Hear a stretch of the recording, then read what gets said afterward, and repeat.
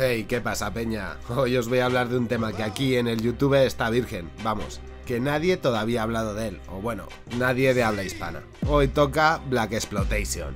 Y como una imagen vale más que mil palabras, pues aquí os dejo unas cuantas secuencias para que sepáis qué es lo que tenemos por delante.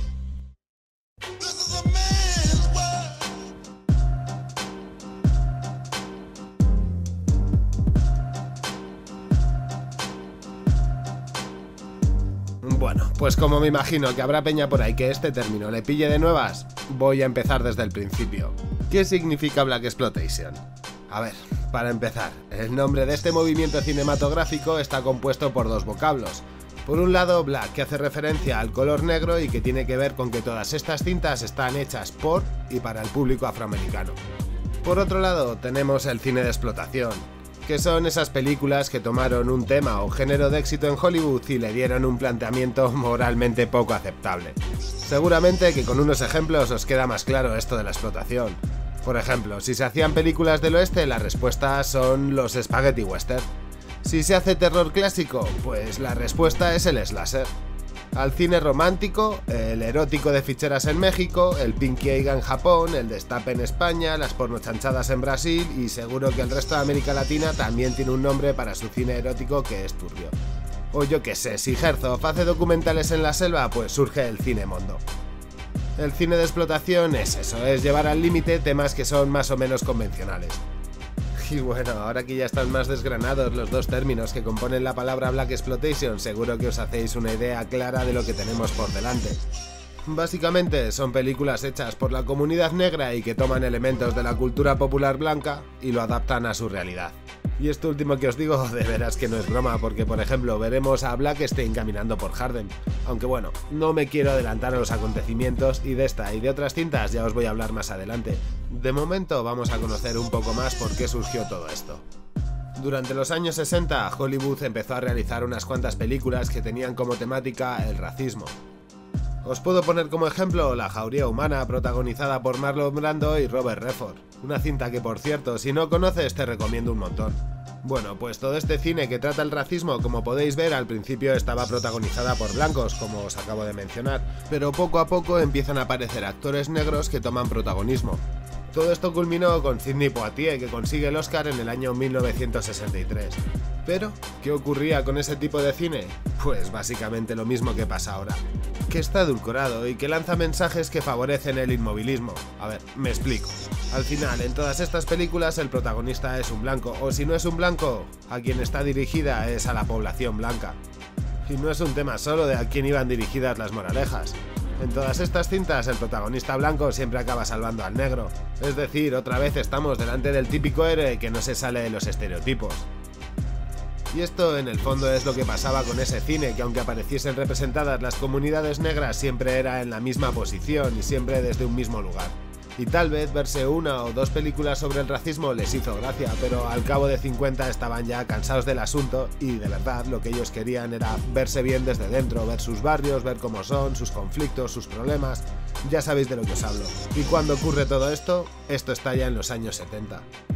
A partir de ese momento es cuando empezaremos a ver películas en las que todo el elenco es gente negra. Todo el mundo, actores, guionistas, el director, el equipo que está detrás de las cámaras, pero feo, ¿esto pasa por primera vez en los años 70? No, Peña, no que yo sepa. Ya que en el año 1940 se realiza El hijo de Ingagi, que es la película más antigua que yo conozco en la que todo el reparto es afroamericano. Aunque igual alguien por ahí tiene un título más antiguo. Si eso, dejádmelo en la caja de comentarios. Yo la verdad es que este dato me lo acabo de sacar de la manga y no lo he leído en ningún sitio y puedo estar equivocado. Así que si alguien tiene para corregirme, pues que me lo deje ahí abajo. En fin, que, que todo el equipo sea negro no hace que tu película sea de Black Exploitation. Para eso se necesitan unos cuantos requisitos más que os voy a contar ahora. Algo que es muy importante es que todas las películas transcurren en sus barrios, da igual que sea Drácula, Frankenstein o que esté ambientada en la Segunda Guerra Mundial. Siempre será Harlem, Queens o la octava con la 18 donde narices vivan. Aunque, bueno, ahora que lo pienso, existe una excepción, pero ya sabéis, la excepción es lo que cuestiona la regla. Ah, no, la confirma. Hay una cinta titulada Bolt, Agente Secreto, y esta está rodada, ¿sabéis dónde, Peña? En Hong Kong. Y aquí seguro que ya estáis atando cabos. Cine de artes marciales, bajo presupuesto, explotación, era lógico que al final acabasen conectados. Pero exceptuando esa, el resto todas se han hecho en el seno de la comunidad afroamericana. Otra característica que identifica este movimiento cinematográfico es que en el 90% de las ocasiones luchan contra el hombre blanco, o cuanto menos dejan entrever que son gente sospechosa. Desde mi punto de vista, eso se hizo para fortalecer su identidad y así valorarse fuera de los estereotipos cultivados por la tradición blanca. Y os puedo poner como ejemplo al propio Jesús de Nazaret, que era pintado como blanco y con melenas de hippie.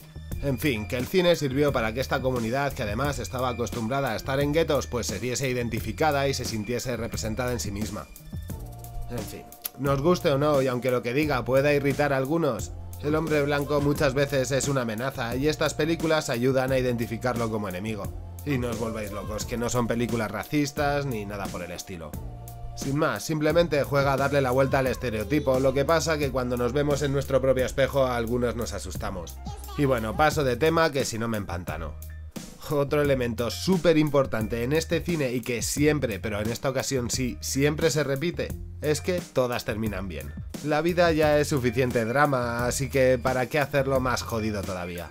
Ah, y una última cosa que fijo, fijísimo, no vais a ver ni en ningún otro blog, ni en ninguna otra reseña, ni en ningún otro sitio. Bueno, para empezar porque casi nadie más ha hablado de este tema.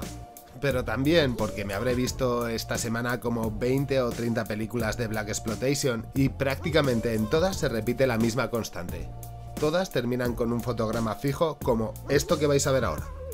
Y de veras, para mí esto es un datazo, es como un sello con las que las identifico. De hecho, la que os comenté antes de Bolt, la que está rodada en Hong Kong, esa no termina con un free frame. ¿Por qué? Porque no tiene todas las características del Black Exploitation. Las que cumplen con todos los requisitos, fijo que lo tienen. Y bueno, voy a hacerme una pregunta que a algunos seguro que le está rondando ya en la cabeza. ¿Cuánto tiempo duró esto? ¿Cuándo empezó? ¿Hasta cuándo? Pues, a ver, tenéis que tener muy presente un año, 1971. En esa fecha no solo se realiza la primera película de este movimiento cinematográfico, sino que también están dos de las más representativas de todas las que se hicieron, que son más de 150. Mm, a día de hoy aún se siguen haciendo alguna que otra, pero la fiebre terminó en el año 1978. A partir de ese momento ya es algo residual.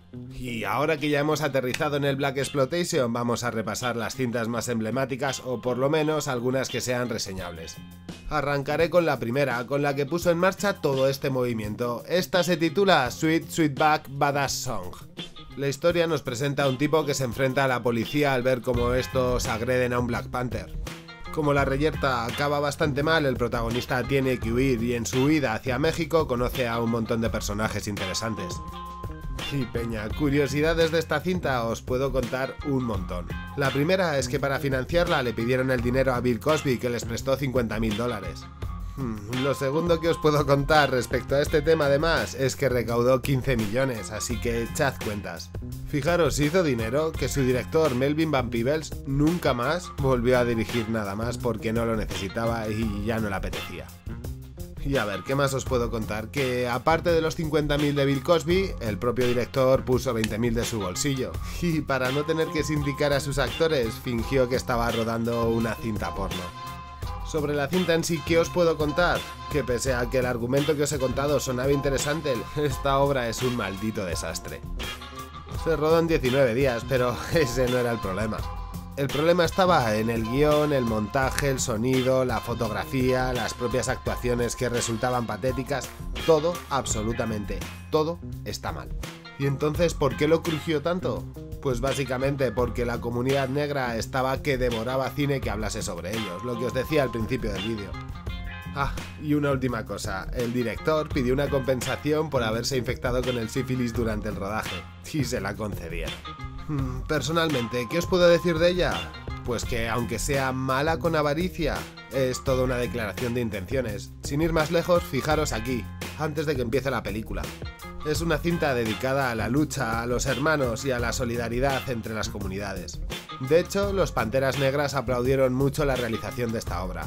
Y recordad que fue un éxito que consiguió más de 15 millones de recaudación, eso que significa que un montón de gente fue a las salas a verla, y que se estaba dando un mensaje medio radical.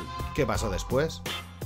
Pues que rápidamente la industria de Hollywood se mete en este fregado y lo primero que hace es reducir el contenido político, social y medio radical que tenían todas estas películas primeras.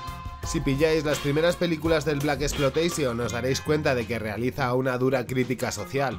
Nos muestra la vida en el gueto, los problemas que tenían dentro de los hogares y también qué amenazas tenían para su supervivencia, como por ejemplo las drogas y todo lo que lo rodea. Así encontraremos películas como Coffee, que por cierto es una de las más míticas de todas.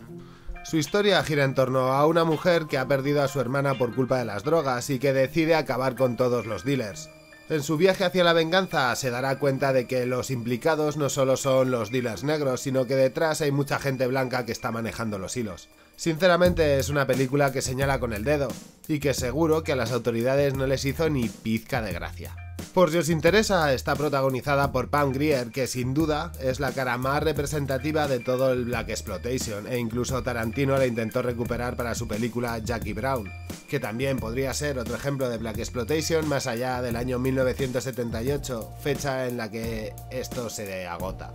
De hecho, el Black Exploitation sufre un proceso de degradación que pone los pelos de punta y pasamos de películas muy interesantes que muestran la crudeza de la realidad social en la vida en los guetos, para recuperar clásicos de la literatura y darle una interpretación más negra. Y vale, os reconozco que Brácula tiene un pase. Y que Blackstein está acogida por los pelos porque nos habla de un veterano negro del Vietnam que ha perdido las piernas y los brazos y que un médico ha decidido implantárselos. Pero la operación sale mal y... Blackstein. Esta también tiene un pequeño pase ya que critica la guerra del Vietnam y la labor de esta comunidad dentro de una guerra que ni les va ni les viene. Pero Peña, Dr. Black y Mr. Hyde era totalmente innecesaria. Y Abby, que es como se llama el exorcista negro, pues tampoco le veo demasiado sentido.